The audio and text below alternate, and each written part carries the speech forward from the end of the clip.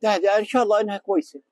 إن شاء الله إحنا بنستنظر في التهدئة وبنتمنى التهدئة وبنتمنى السلام لكل الناس. عشان إحنا نخلص من هالقصص اللي, اللي, نشفت رياقنا هذه دارين نجري من هان وهان.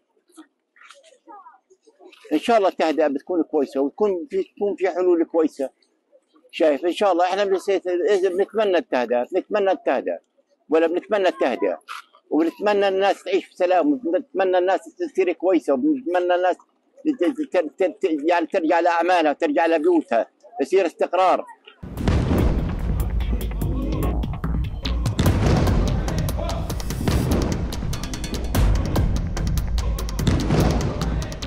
إحنا لازم التهدئه تكون شاملة في غزة وفي جميع قطاع غزة ويكون اليهود آه، هم اليهود أحيانا بيقوموا في الغ- بالغدر وب- وبقتلوا الأطفال وبيلتزموش بأي شيء.